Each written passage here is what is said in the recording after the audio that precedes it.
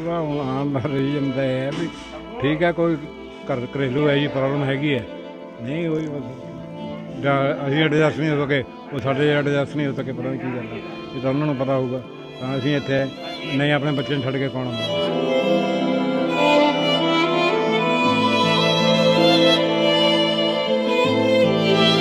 ਇਹ ਤਾਂ ਹੁਣ ਸਾਨੂੰ ਕੀ ਪਤਾ, ਉਹਨੇ ਪਤਾ ਸਾਨੂੰ ਜੇ ਬੱਚਿਆਂ ਦਾ ਪਿਆ, ਬੱਚਿਆਂ ਨੂੰ ਨਹੀਂ ਪਤਾ ਵੀ ਸਾਨੂੰ ਮਾਂ-ਬਾਪ ਨੇ ਪਾਲਿਆ ਸਭ ਕੁਝ ਕੀਤਾ ਪੜਾਇਆ ਲਿਖਾਇਆ, ਜੋ ਮਰਜ਼ੀ ਕੀਤਾ ਹੈ, ਪਰ ਇਹ ਬੱਚੇ ਜਾਣ, ਬੱਚਾ ਨਾ ਜਾਏ, ਬੱਚਿਆਂ ਨੇ ਲੜਨਾ ਮਤਲਬ ਨਹੀਂ, ਉਹ ਸਾਨੂੰ ਐਡਜਸਟ ਕਰ ਸਕੇ ਤਾਂ ਸਾਨੂੰ ਇੱਥੇ ਆਉਣਾ ਪੈ ਗਿਆ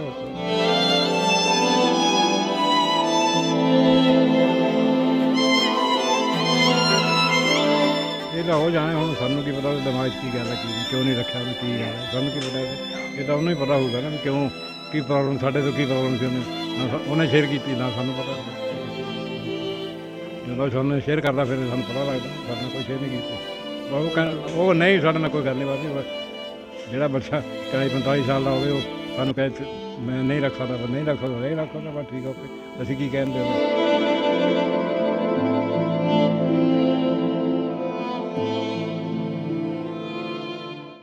ਸਤਿ ਸ਼੍ਰੀ ਅਕਾਲ ਜੀ, ਤੁਸੀਂ ਦੇਖ ਰਹੇ ਹੋ ਜਗਬਾਣੀ ਪੰਜਾਬ ਕੇਸਰੀ ਤੇ ਮੈਂ ਹਾਂ ਕਵਲਜੀਤ ਕੰਬੋਜ। ਅੱਜ ਅਸੀਂ ਪਹੁੰਚੇ ਹਾਂ ਪਟਿਆਲਾ ਜ਼ਿਲ੍ਹਾ ਦੇ ਪਿੰਡ ਚੋਰਾ ਦੇ ਸਾਈਂ ਬ੍ਰਿਧ ਆਸ਼ਰਮ ਦੇ ਵਿੱਚ ਜਿੱਥੇ ਕਿ ਚਾਰ ਚਾਰ ਬੱਚਿਆਂ ਦੇ ਮਾਪੇ ਨੇ ਜੋ ਅੱਜ ਇੱਥੇ ਰਹਿਣ ਦੇ ਲਈ ਮਜਬੂਰ ਨੇ, ਕਿਉਂਕਿ ਉਹ ਬੱਚੇ ਨੇ ਜੋ ਅੱਜ ਰੱਖ ਨਹੀਂ ਸਕਦੇ ਆਪਣੇ ਮਾਪਿਆਂ ਨੂੰ, ਕਿਉਂਕਿ ਉਹਨਾਂ ਦਾ ਵਿਆਹ ਹੋ ਚੁੱਕਿਆ ਹੈ, ਘਰ ਵਾਲੀਆਂ ਆ ਚੁੱਕੀਆਂ ਨੇ, ਬੱਚੇ ਹੋ ਚੁੱਕੇ ਨੇ, ਤਾਂ ਉਹ ਜਿਹੜਾ ਆਖਦੇ ਨੇ ਕਿ ਅਸੀਂ ਤੁਹਾਨੂੰ ਨਾਲ ਨਹੀਂ ਰੱਖ ਸਕਦੇ ਕਿਉਂਕਿ ਸਾਡੇ ਬੱਚੇ ਨੇ। ਤਾਂ ਉਹ ਮਾਪੇ ਵੀ ਇੱਥੇ ਰਹਿ ਰਹੇ ਨੇ, ਉਹਨਾਂ ਨਾਲ ਗੱਲਬਾਤ ਵੀ ਕਰਾਂਗੇ। ਇਹ ਵੱਡਾ ਦੁੱਖ ਹੈ ਕਿ ਚਾਰ ਚਾਰ ਬੱਚੇ ਹੋਣ ਦੇ ਬਾਵਜੂਦ ਵੀ ਮਾਪੇ ਨੇ ਜੋ ਅੱਜ ਵਰਿੱਧ ਆਸ਼ਰਮ ਦੇ ਵਿੱਚ ਰਹਿਣ ਦੇ ਲਈ ਮਜਬੂਰ ਨੇ, ਘਰ ਸਭ ਕੁਝ ਪਰਿਵਾਰ ਹੈ, ਲੇਕਿਨ ਅੱਜ ਫਿਰ ਵੀ ਇਕੱਲੇ ਇੱਥੇ ਰਹਿ ਰਹੇ ਨੇ, ਤਾਂ ਉਹਨਾਂ ਦਾ ਦੁੱਖ ਹੈ ਜੋ ਜਾਣਾਂਗੇ ਕੀ ਕੁਝ ਉਹਨਾਂ ਦਾ ਕਹਿਣਾ ਹੈ, ਤੇ ਉਹ ਵੀ ਗੱਲਬਾਤ ਕਰਾਂਗੇ। ਤੇ ਇੱਥੇ ਦੇ ਜਿਹੜੇ ਸੈਕਟਰੀ ਮੈਡਮ ਨੇ ਵਰਿੱਧ ਆਸ਼ਰਮ ਦੇ ਉਹਨਾਂ ਨਾਲ ਵੀ ਗੱਲਬਾਤ ਕਰਾਂਗੇ ਕੀ ਕੁਝ ਕਹਿਣਾ ਹੈ। ਇਹ ਵੱਡਾ ਦੁੱਖ ਹੈ ਮਾਪਿਆਂ ਦੇ ਲਈ ਕਿ ਅੱਜ ਪਰਿਵਾਰ ਹੋਣ ਦੇ ਬਾਵਜੂਦ ਵੀ ਇਸ ਵਰਿੱਧ ਆਸ਼ਰਮ ਦੇ ਵਿੱਚ ਰਹਿਣਾ ਕਿਉਂਕਿ ਅੱਜ ਉਹਨਾਂ ਬੱਚਿਆਂ ਨੂੰ ਪੜ੍ਹਾ ਲਿਖਾ ਕੇ ਅੱਜ ਇਸ ਮੁਕਾਮ ਤੱਕ ਪਹੁੰਚਾਇਆ, ਉਹ ਰੋਜ਼ਗਾਰ ਕਮਾ ਸਕਣ। ਲੇਕਿਨ ਰੋਜ਼ਗਾਰ ਕਮਾਇਆ ਜਦੋਂ ਉਹਨਾਂ ਨੇ ਉਸ ਤੋਂ ਬਾਅਦ ਮਾਪਿਆਂ ਨੇ ਉਹਨਾਂ ਦਾ ਵਿਆਹ ਕੀਤਾ ਲੇਕਿਨ ਵਿਆਹ ਹੋਣ ਤੋਂ ਬਾਅਦ ਮਾਪਿਆਂ ਨੂੰ ਹੀ ਘਰੋਂ ਬਾਹਰ ਕੱਢ ਦਿੱਤਾ ਗਿਆ ਤਾਂ ਅੱਜ ਮਾਪੇ ਨੇ ਜੋ ਪਟਿਆਲਾ ਦੇ ਵਰਿੱਧ ਆਸ਼ਰਮ ਦੇ ਵਿੱਚ ਰਹਿਣ ਦੇ ਲਈ ਮਜਬੂਰ ਹੋ ਚੁੱਕੇ ਨੇ। ਤਾਂ ਉਹਨਾਂ ਨਾਲ ਗੱਲਬਾਤ ਕਰਦੇ ਹਾਂ ਕੀ ਕੁਝ ਕਹਿਣਾ ਦੂਦ ਨੇ ਉਹਨਾਂ ਨਾਲ ਵੀ ਗੱਲਬਾਤ ਕਰਦੇ ਹਾਂ ਕਿ ਕੀ ਕਾਰਨ ਬਣਿਆ ਸੀਗਾ ਕਿ ਉਰੇ ਆਣਾ ਪੈ ਗਿਆ ਤੇ ਕੀ ਕੁਝ ਅੱਗੇ ਦਾ ਭਵਿੱਖ ਦੇਖ ਰਹੇ ਨੇ ਹੁਣ ਤੇ ਕੀ ਕੁਝ ਉਹਨਾਂ ਦਾ ਦੁੱਖ ਹੈ? ਤੇ ਕੀ ਨਾਮ ਹੈ ਜੀ? ਪਾਲ ਸਿੰਘ। ਕਿਹੜੀ ਜਗ੍ਹਾ ਤੇ ਰਹਿਣ ਵਾਲੇ ਸੀਗੇ ਤੁਸੀਂ ਪਹਿਲਾਂ? ਇੱਥੇ ਪਟਿਆਲੇ ਹੀ। ਪਟਿਆਲੇ ਕਿੱਥੋਂ ਦੇ? ਕੋਕਰੀ ਮੋੜ। ਕੱਕੜੀ ਮੋੜ ਦੇ। ਉਰੇ ਕਿੰਨੇ ਸਾਲ ਪਹਿਲਾਂ ਆਏ ਸੀਗੇ? ਮੈਂ ਹੋ ਗਿਆ ਗੈਰ ਹਾਲ 11 ਸਾਲ ਹੋ ਗਏ ਨੇ। ਉਰੇ ਕਿਸ ਤਰ੍ਹਾਂ ਪਹੁੰਚੇ ਸੀਗੇ? ਬੱਚੇ ਛੱਡ ਕੇ ਗਏ ਜਾਂ ਆਪੇ ਹੀ ਆ ਗਏ ਸੀਗੇ? ਆਪੇ ਆ ਗਏ। ਬੱਚੇ ਕੋਈ ਨਹੀਂ ਛੱਡ ਗਏ। ਆਪੇ ਆ ਗਏ। ਇਹ ਜਿਹਾ ਕੀ ਕਾਰਨ ਬਣਿਆ ਸੀਗਾ ਕਿ ਉਰੇ ਆਣਾ ਪੈ ਗਿਆ? ਘਰ ਦੇ ਚੋਇਸ ਨਾ ਹੀ ਦੋ ਮਹੀਨਾ ਨਹੀਂ ਆ ਜਾਂਦੀ ਹੈ। ਆ ਗਏ ਬਸ। ਕੋਈ ਨਹੀਂ ਨਹੀਂ ਲੱਗਦਾ ਕਿ ਪਰਿਵਾਰ ਹੁੰਦੇ ਹੋਏ ਵੀ ਉਰੇ ਆਏ ਹੋ? ਉਹ ਬਸ ਫਿਰ ਦਾਣਾ ਪਾਣੀ ਰੱਖਿਆ ਸੀ ਨਾ ਸਿੱਧੀ ਹਾਲਤ ਹੈ ਸਾਡਾ ਦਾਣਾ ਪਾਣੀ ਰੱਖਿਆ ਸੀ ਆ ਉਰੇ ਹੁਣ ਕਿਸ ਤਰ੍ਹਾਂ ਦੀ ਮਤਲਬ ਫੈਸਿਲਿਟੀ ਫੈਸਿਲਿਟੀ ਮਿਲ ਰਹੀ ਹੈ? ਬਹੁਤ ਅੱਛਾ ਪ੍ਰਬੰਧ ਹੈ ਖਾਣਾ ਪੀਣਾ ਵਧੀਆ ਰਹਿਣਾ ਸਹਿਣਾ ਸਭ ਅੱਛਾ। ਕਮਰੇ ਮਿਲ ਰਹੇ ਸਭ ਕੁਝ ਮਿਲ ਰਿਹਾ ਦੁੱਧ ਮਿਲ ਰਹੀ ਰੋਟੀ ਮਿਲ ਰਹੀ ਹੈ ਸਭ ਅੱਛਾ ਮਿਲਦਾ ਸਾਬਣ ਪੀਣ ਹਰ ਚੀਜ਼ ਮਿਲਦੀ। ਉਹ ਕੋਈ ਹੁਣ ਦੁੱਖ ਦਾ ਕੀ ਹੈ? ਬੱਚੇ ਵਿਆਹੇ ਹੈ ਲੜਕਾ ਵਿਆਹ ਲੜਕੀ ਵਿਆਹੀ ਵੀ ਹੈ। ਕਾਹਦਾ ਦੁੱਖ ਹੈ ਕੋਈ ਗੱਲ ਨਹੀਂ ਕੱਲ ਵੀ ਆਪਣਾ ਠੀਕ ਠਾਕ ਦੁੱਖ ਕਾਹਦਾ ਕੋਈ ਦੁੱਖ ਨਹੀਂ ਹੈ ਦੁੱਖ ਹੈ ਆਪਣੇ ਦੁੱਖੀ ਹੈ ਉਹ ਵੀ ਆਪਣਾ ਠੀਕ ਹੈ ਦਾਲ ਫੁਲਕਾ ਖਾ ਰਹੇ ਨੇ ਬਸ ਠੀਕ ਹੈ ਪਹਿਲਾਂ ਕੀ ਕੰਮ ਕਰਦੇ ਸੀਗੇ ਤੁਸੀਂ? ਮੈਂ ਬੱਸ ਸਟੈਂਡ ਕੰਮ ਕਰਦਾ ਸੀ ਆਖਰੀ ਦਾ ਕੰਮ ਬੱਸਾਂ 'ਚ। ਅੱਛਾ ਜੀ। ਬੈਨ ਪੌਣ ਮੇਲ ਕਰ ਵੇਚਣਾ ਬੱਸਾਂ 'ਚ ਪੱਖੇ ਪੁੱਖੇ। ਇਹ ਕੀਤਾ ਹੈ, ਕਈ ਸਾਲ ਪਹਿਲੇ ਕੀਤਾ। ਹੈ। ਹੁਣ ਆਪਣੇ ਗੋਡਿਆਂ ਕਰਕੇ ਨਹੀਂ ਆਉਂਦਾ ਗੋਡਿਆਂ ਦੀ ਪ੍ਰੋਬਲਮ ਹੈ ਛੱਡ ਦੋ। ਕਿੰਨੇ ਬੱਚੇ ਨੇ ਜੀ ਆਪਣੇ? ਦੋ ਬੱਚੇ ਹੈ ਦੋਨੋਂ ਮੁੰਡੇ। ਇੱਕ ਲੜਕਾ ਇੱਕ ਲੜਕੀ। ਦੋਨੋਂ ਵਿਆਹੇ ਹੋਏ ਨੇ ਜੀ। ਉਹਨੇ ਵੀ ਆਏ ਉਹਨੇ ਵੀ ਆਏ ਮੁੰਡਾ ਕੀ ਕੰਮ ਕਰਦਾ ਜੀ ਤੁਹਾਡਾ? ਉਹਨੇ ਆਪਣਾ ਫਰਨੀਚਰ ਦਾ ਕੰਮ ਹੈ। ਫਰਨੀਚਰ ਦਾ ਕੰਮ ਹਾਂ। ਸਾਡੇ ਨਾਲ ਕੁਝ ਹੋਰ ਉਰੇ ਵੀ ਬਜ਼ੁਰਗ ਮੌਜੂਦ ਨੇ ਜਿਹੜੇ ਕਿ ਇੱਥੇ ਰਹਿੰਦੇ ਨੇ। ਉਹਨਾਂ ਨਾਲ ਵੀ ਗੱਲਬਾਤ ਕਰਦੇ ਆ ਕਿ ਕੀ ਕਾਰਨ ਬਣਿਆ ਸੀਗਾ ਕਿ ਉਰੇ ਆਣਾ ਪੈ ਗਿਆ ਤੇ ਕੀ ਉਹਨਾਂ ਦੇ ਪਰਿਵਾਰ 'ਚ ਹੋਰ ਕੌਣ-ਕੌਣ ਰਹਿੰਦਾ ਹੈ ਤੇ ਕੀ ਕੰਮ ਕਰਦੇ ਸੀਗੇ ਪਹਿਲਾਂ? ਕੀ ਨਾਮ ਹੈ ਜੀ ਪਹਿਲਾਂ ਤੁਹਾਨੂੰ ਮੇਰਾ ਨਾਮ ਉਜਾਗਰ ਸਿੰਘ ਹੈ। ਕਿੱਥੋਂ ਦੇ ਰਹਿਣ ਵਾਲੇ ਸੀਗੇ ਜੀ ਆਪਾਂ ਪਹਿਲਾਂ? ਇੱਥੋਂ ਪਹਿਲਾਂ ਰਹਿਣ ਵਾਲਾ ਮੈਂ ਪਟਿਆਲਾ ਦਾ ਹੀ ਹਾਂ ਮੈਂ ਪਿੱਛੇ ਇੱਥੇ ਆਇਆ ਚੰਡੀਗੜ੍ਹ ਰਹਿੰਦਾ ਮੈਂ 40 45 ਸਾਲ ਉੱਤੇ ਰਿਹਾ। ਚੰਡੀਗੜ੍ਹ ਰਹਿੰਦੇ ਸੀਗੇ ਜੀ। ਪਰਿਵਾਰ ਦੇ ਵਿੱਚ ਕੌਣ-ਕੌਣ ਹੈ ਜੀ ਤੁਹਾਡੇ? ਪਰਿਵਾਰ 'ਚ ਮੇਰੇ ਦੋ ਲੜਕੇ ਸੀਗੇ ਇੱਕ ਲੜਕੇ ਦੀ ਮੇਰੀ ਡੈਥ ਹੋ ਗਈ ਇੱਕ ਮੇਰਾ ਚੰਡੀਗੜ੍ਹ ਹੈਗਾ ਬਸ ਉੱਥੇ ਹੀ ਹੈ ਐਸਾ ਕੀ ਕਾਰਨ ਬਣਿਆ ਕਿ ਪਰਿਵਾਰ ਦੇ ਹੁੰਦੇ ਹੋਏ ਵੀ ਬੱਚੇ ਵੀ ਹੈਗੇ ਆ ਆਪਣੇ ਅਹ ਤੇ ਉਰੇ ਆਣਾ ਪੈ ਗਿਆ? ਉਹਦਾ ਹੁਣ ਆਉਣ ਦਾ ਰੀਜਨ ਤਾਂ ਇਹ ਹੈ ਵੀ ਠੀਕ ਹੈ ਕੋਈ ਘਰ ਘਰੇਲੂ ਹੈ ਜੀ ਪ੍ਰੋਬਲਮ ਹੈਗੀ ਹੈ। ਨਹੀਂ, ਉਹੀ ਬਸ ਜਾਂ ਅਸੀਂ ਐਡਜਸਟ ਨਹੀਂ ਹੋ ਸਕੇ ਉਹ ਸਾਡੇ ਐਡਜਸਟ ਨਹੀਂ ਹੋ ਸਕੇ ਪਤਾ ਨਹੀਂ ਕੀ ਗੱਲ ਹੈ ਇਹ ਤਾਂ ਉਹਨਾਂ ਨੂੰ ਪਤਾ ਹੋਊਗਾ। ਤਾਂ ਅਸੀਂ ਇੱਥੇ ਆਏ।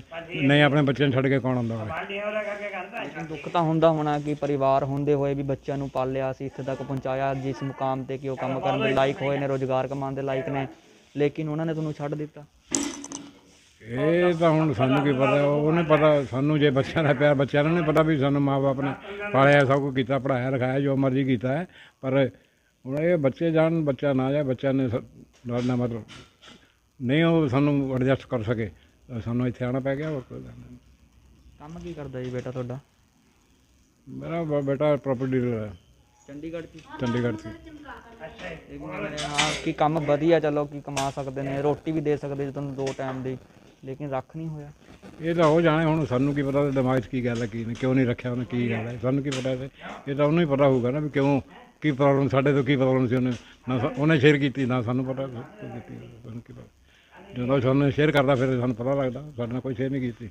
ਪਰ ਉਹ ਕਹਿੰ ਉਹ ਨਹੀਂ, ਸਾਡੇ ਨਾਲ ਕੋਈ ਗੱਲ ਨਹੀਂ ਬਾਤ ਜਿਹੜਾ ਬੱਚਾ 40 45 ਸਾਲ ਦਾ ਹੋਵੇ, ਉਹ ਸਾਨੂੰ ਕਹੇ ਤੇ ਮੈਂ ਨਹੀਂ ਰੱਖ ਸਕਦਾ ਪਰ ਨਹੀਂ ਰੱਖ ਸਕਦਾ, ਨਹੀਂ ਰੱਖ ਸਕਦਾ, ਬਸ ਠੀਕ ਓਕੇ। ਅਸੀਂ ਕੀ ਕਹਿੰਦੇ ਉਹਨੂੰ? ਪੂਰੇ ਕਿਤੇ ਨਾਲ ਆਏ ਹੋ ਜੀ ਤੁਸੀਂ? ਅਸੀਂ ਆਪਣੇ ਆਪ ਆਏ ਹਾਂ। ਕਿਸੇ ਨੇ ਦੱਸਿਆ ਕਿਸੇ ਨੇ ਬੰਦੇ ਨੇ ਦੱਸਤਾ ਵੀ ਫਲਾਣੇ ਵੀ ਆਸ਼ਰਮ ਹੁੰਦੇ ਆ। ਸਾਨੂੰ ਤਾਂ ਆਸ਼ਰਮ ਦਾ ਨਹੀਂ ਪਤਾ ਵੀ ਆਸ਼ਰਮ ਆ। ਜ਼ਿੰਦਗੀ ਅਸੀਂ ਆਸ਼ਰਮ ਦਾ ਨਾਂ ਹੀ ਨਹੀਂ ਸੁਣਿਆ ਵੀ ਇਦਾਂ ਵੀ ਹੁੰਦੇ। ਕਿਸੇ ਨੇ ਦੱਸਤਾ ਅਸੀਂ ਇੱਥੇ ਆਏ ਇੱਥੇ ਇਹਨਾਂ ਨੇ ਸਾਨੂੰ ਰੱਖ ਲਿਆ ਅਸੀਂ ਇੱਥੇ ਆ ਗਏ ਬਸ। ਹੋਰ ਕੀ। ਮੇਰੀ ਮੈਡਮ ਮੈਸੇਜ ਆ ਮੇਰੀ ਨਾਲ ਉਹਨੇ ਬੱਚੇ ਦੀ ਮਾਂ ਵੀ ਨਾਲ ਹੈ ਉਹ ਵੀ ਬੈਠੀ ਆ ਉਰੇ। ਕੋਈ ਕਾਰਨ ਦੱਸਿਆ ਜੀ ਉਹਨਾਂ ਨੇ ਵੀ ਹਾਂ ਵੀ ਤੁਹਾਡੇ ਤੋਂ ਵੀ ਇਹ ਗਲਤੀ ਹੋ ਗਈ ਵੀ ਅਸੀਂ ਨਾਂ ਰੱਖ ਨਹੀਂ ਸਕਦੇ ਹੈਗੇ ਜਾਂ ਵੀ ਹਾਂ ਤੁਹਾਨੂੰ ਅਸੀਂ ਰੋਟੀ ਨਹੀਂ ਖਵਾ ਸਕਦੇ? ਨਹੀਂ ਨਹੀਂ ਕੋਈ ਗੱਲ ਕੋਈ ਗੱਲ ਨਹੀਂ ਸਾਡੇ ਨਾਲ ਕੋਈ ਗੱਲ ਨਹੀਂ ਹੋਈ ਬਸ। ਉਹ ਕਹਿੰਦੇ ਅਸੀਂ ਨਹੀਂ ਰੱਖ ਸਕਦੇ ਬਸ ਅੱਧਾ ਦਾ। ਉਹ ਨਾ ਰੋਟੀ ਗੱਲ ਨਾ ਰੋਟੀ ਕਿਉਂ ਨਹੀਂ ਕਰਦਾ? ਰੋਟੀ ਜੇ ਉਹ ਪ੍ਰਾਪਰਟੀ ਡੀਲਰ ਦਾ ਕੰਮ ਕਰਦਾ ਹੈ, ਨੂੰ ਮੇਰੀ ਟੀਚਰ ਲੱਗੀ ਹੋਈ ਕਿਤੇ ਕੁਛ ਵੀ ਲੱਗੀ ਹੋਈ ਹੈ ਤੇ ਉਹ ਰੋਟੀ ਦਾ ਕੋਈ ਪ੍ਰੋਬਲਮ ਨਹੀਂ ਉਹਨਾਂ ਵਾਸਤੇ ਕੀ ਰੋਟੀ ਕੀ ਚੀਜ਼ ਹੈ? ਸਾਡੇ ਵਾਸਤੇ ਕੀ ਰੋਟੀ? ਅਸੀਂ ਉਹਨਾਂ ਨੂੰ ਕਹਿੰਦਾ ਵੀ ਤੂੰ ਘਰੋਂ ਨਿਕਲ ਜਾ ਅਸੀਂ ਤਾਂ ਰੋਟੀ ਨਹੀਂ ਦੇ ਸਕਦੇ ਪਾਲਿਆ ਨਹੀਂ ਸਭ ਪੜਾਇਆ ਨਹੀਂ ਲਿਖਾਇਆ ਨਹੀਂ ਸਭ ਬੀ ਬੀ ਐਮ ਐਮ ਕਰਾਇਆ ਨਹੀਂ ਕਿਵੇਂ ਕਰਾਇਆ ਉਹ? ਬਸ ਠੀਕ ਹੈ। ਕੰਮ ਕੀ ਕਰਦੇ ਸੀਗੇ ਜੀ ਆਪਾਂ ਪਹਿਲਾਂ? ਮੈਂ? ਮੈਂ ਤਾਂ ਡਰਾਈਵਰ ਸੀਗਾ ਇੱਥੇ ਪੰਜ- ਚੰਡੀਗੜ੍ਹ। ਲੇਕਿਨ ਆਪਾਂ ਉਸ ਸਮੇਂ ਦੇ ਵਿੱਚ ਆਪਣੇ ਬੱਚਿਆਂ ਨੂੰ ਪੜਾਇਆ ਲਿਖਾਇਆ ਆਪਾਂ ਕਦੀ ਇਹ ਗੱਲ ਸੋਚੀ ਨਹੀਂ ਸੀ ਕਿ ਅੱਗੇ ਜਾ ਕੇ ਆਪਣੇ ਨਾਲ ਇਸ ਤਰ੍ਹਾਂ ਦਾ ਹੋਏਗਾ ਤੇ ਅੱਜ ਹੋਇਆ, ਆਪਾਂ ਉਰੇ ਆਏ ਆ ਮਤਲਬ ਚਲੋ ਵਧੀਆ ਰੋਟੀ ਉਰੇ ਮਿਲ ਰਹੀ, ਆਪਾਂ ਨੂੰ ਫਿਰ ਵੀ ਆਪਾਂ ਨੂੰ ਵਧੀਆ ਮਿਲਿਆ ਉਰੇ। ਲੇਕਿਨ ਘਰ ਹੁੰਦੇ ਹੋਏ ਵੀ ਇਸ ਤਰ੍ਹਾਂ ਉਰੇ ਰਹਿਣਾ, ਦੁੱਖ ਤਾਂ ਹੁੰਦਾ ਹੋਏਗਾ। ਉਹਦਾ ਮਸਲਾ ਹੱਲ ਕੀ ਕਰੀਏ? ਰਹਿਣਾ ਤਾਂ ਹੈ ਹੀ ਹੈ ਨਾ, ਜ਼ਿੰਦਗੀ ਦਾ ਟਾਈਮ ਤਾਂ ਕੱਟਣਾ ਹੀ ਹੈ। ਸੜਕਾਂ 'ਤੇ ਥੋੜਾ ਰੋੜਨਾ ਜੇ ਬੈਠੇ ਹਾਂ ਤਾਂ ਠੀਕ ਹੈ। ਨਹੀਂ ਉਹਨਾਂ ਨੂੰ ਪਸੰਦ ਅਸੀਂ ਨਹੀਂ ਪਸੰਦ ਠੀਕ ਹੈ ਓਕੇ ਅਸੀਂ ਕੀ ਕਹਿੰਦੇ ਉਹਨਾਂ? ਨੂੰ ਆ ਕੇ ਬੈਠੇ ਤੇ ਆਸ਼ਰਮ ਮਿਲ ਗਿਆ ਇਹਨਾਂ ਦੀ ਮਿਹਰਬਾਨੀ ਹੈ ਇੱਥੇ ਅਸੀਂ ਰਹਿ ਰਹੇ ਹਾਂ। ਅਸੀਂ ਭੁੱਲ ਗਏ ਸਭ ਕੁਝ ਵੀ ਸਾਰੀ ਇਹ ਸੋਦੇ ਆਪਣੇ ਘਰ 'ਚ ਬੈਠੇ ਆ ਬਸ ਠੀਕ ਹੈ। ਕਦੇ ਉਰੇ ਮਿਲਣ ਲਈ ਆਏ ਆ ਤੁਹਾਨੂੰ? ਨਹੀਂ ਕੋਈ ਨਹੀਂ ਆਇਆ ਸਾਨੂੰ ਮਿਲਣ ਵਾਸਤੇ। ਕੋਈ ਵੀ ਨਹੀਂ ਪਹੁੰਚਿਆ ਨਹੀਂ। 6 6 ਸਾਲ ਹੋ ਗਏ ਮੈਨੂੰ ਬੈਠੇ ਨੂੰ ਕੋਈ ਨਹੀਂ ਆਇਆ। 6 ਸਾਲ ਹੋ ਗਏ। ਨਾ ਟੈਲੀਫੋਨ ਆਇਆ ਨਾ ਕੁਛ ਆਇਆ ਬਸ। ਤੇ ਜਿਸ ਤਰ੍ਹਾਂ ਸੁਣਿਆ ਹੈਗਾ ਕਿ ਉਰੇ ਬਜ਼ੁਰਗ ਜਿਹੜੇ ਮੌਜੂਦ ਨੇ ਆਪਣੇ ਬੱਚਿਆਂ ਤੋਂ ਦੁਖੀ ਹੋ ਕੇ ਜਿਹੜਾ ਕਿ ਉਰੇ ਰਹਿ ਰਹੇ ਨੇ ਪਰਿਵਾਰ ਹੁੰਦੇ ਹੋਏ ਵੀ ਜਿਹੜਾ ਕਿ ਉਰੇ ਰਹਿਣਾ ਵੱਡਾ ਦੁੱਖ ਹੁੰਦਾ ਤੇ ਹੁਣ ਸਾਡੇ ਨਾਲ ਮਾਤਾ ਜੀ ਵੀ ਮੌਜੂਦ ਨੇ ਜਿਨ੍ਹਾਂ ਦੀ ਇੱਕ ਧੀ ਹੈ ਜਿਸ ਦਾ ਵਿਆਹ ਕੀਤਾ ਸੀ ਲੇਕਿਨ ਉਹ ਨਾਰ ਨਹੀਂ ਰੱਖ ਸਕੇ।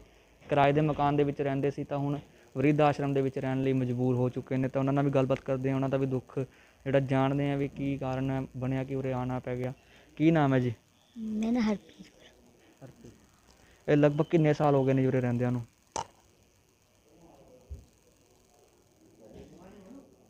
ਪੰਜ।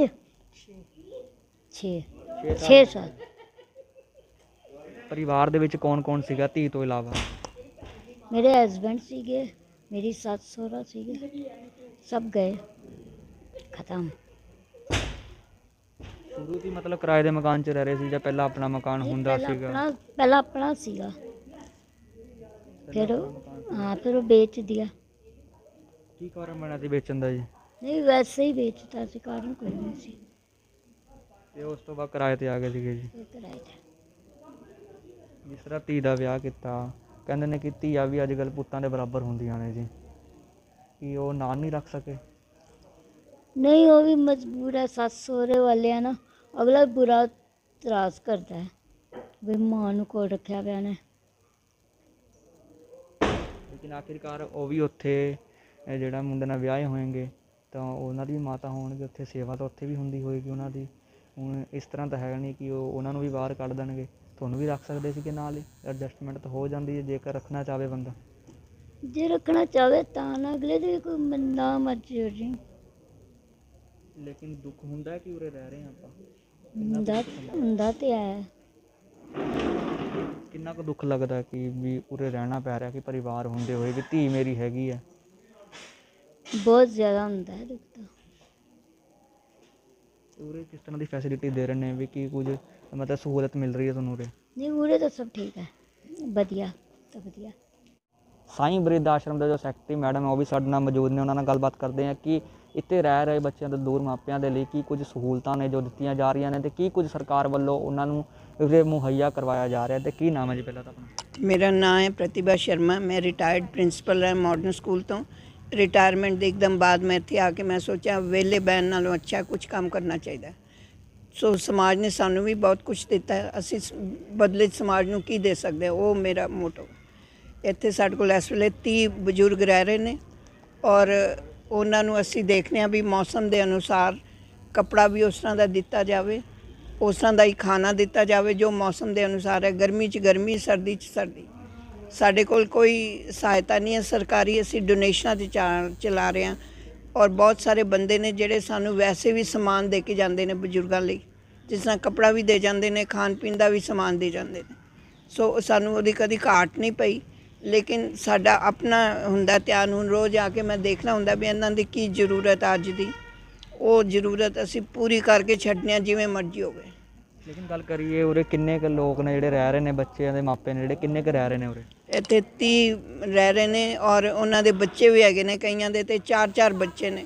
ਦੇਖੋ ਦੁੱਖ ਦੀ ਗੱਲ ਹੈ ਕਿ ਜਦੋਂ ਇਹ ਬਹੁਤ ਬਿਮਾਰ ਹੋ ਜਾਣ ਜਾਂ ਲੱਗੇ ਕਿ ਹੁਣ ਇਹ ਬਚਦੇ ਨਹੀਂ ਤਾਂ ਵੀ ਨਹੀਂ ਬੱਚੇ ਆਉਂਦੇ। ਕਿਸੇ ਤਿਉਹਾਰ ਤੇ ਕਿਸੇ ਉਹਦੇ ਤੇ ਅਸੀਂ ਇਹ ਗੇਟ ਵੱਲ ਦੇਖਦੇ ਰਹਿੰਦੇ ਨੇ ਕਿ ਸ਼ਾਇਦ ਕੋਈ ਸਾਡਾ ਬੱਚਾ ਆਏਗਾ। ਨਾ ਦੀਵਾਲੀ ਤੇ ਨਾ ਲੋਹੜੀ ਤੇ ਨਾ ਹੋਲੀ ਤੇ ਕੋਈ ਨਹੀਂ ਆਉਂਦਾ। ਉਰੇ ਕੀ ਕੁਝ ਟਾਈਮ ਟੇਬਲ ਰੱਖਿਆ ਗਿਆ ਖਾਣ ਪੀਣ ਦਾ ਜੇਕਰ ਗੱਲ ਕਰ ਲਈ ਇਹਨਾਂ ਦੇ ਲਈ? ਅਸੀਂ ਇਹਨਾਂ ਨੂੰ ਸਵੇਰੇ 5:30 ਵਜੇ ਬੈਡ ਟੀ ਦਿੰਦੇ ਆ ਫਿਰ ਇਹਨਾਂ ਨੂੰ 8:30 ਵਜੇ ਅਸੀਂ ਇਹਨਾਂ ਨੂੰ ਅਹ, ਦਿੰਦੇ ਆ ਨਾਸ਼ਤਾ ਜਿਹਦੇ ਚ ਪਰੌਂਠੀ ਹੁੰਦੀ ਹੈ। ਔਰ ਫਿਰ ਇਹਨਾਂ ਨੂੰ 11 ਵਜੇ ਦੁੱਧ ਦਾ ਕੱਪ ਦਿੰਦੇ ਆ ਗਰਮ ਗਰਮ। ਔਰ ਫਿਰ 1 ਵਜੇ ਖਾਣਾ ਹੁੰਦਾ ਲੰਚ ਜੇ ਸਬਜੀ ਦਾਲ ਔਰ ਦਹੀਂ ਜ਼ਰੂਰੀ ਹੈ ਰੋਜ਼।